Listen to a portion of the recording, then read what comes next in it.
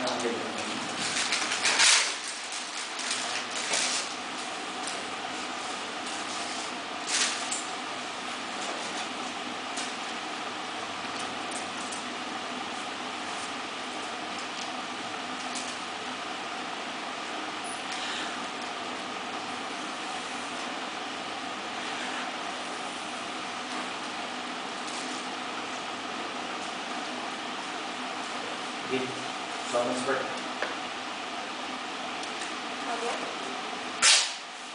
Só isso. Riquitinho, nosso paciente? Só